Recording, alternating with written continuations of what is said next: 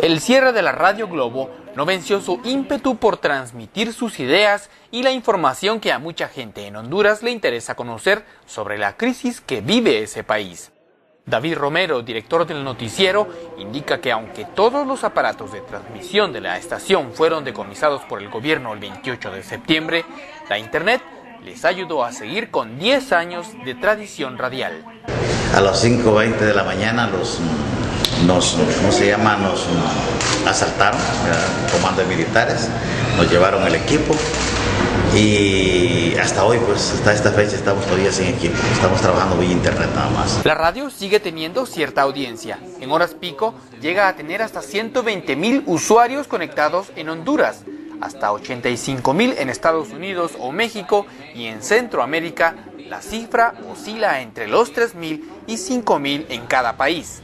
Los atropellos de que fueron objeto no mellaron su ahínco por continuar transmitiendo y dar a los hondureños la otra cara de la moneda. En la democracia, ahora nos quitaron también la libertad de expresión, porque aquí no solo callaron a los periodistas de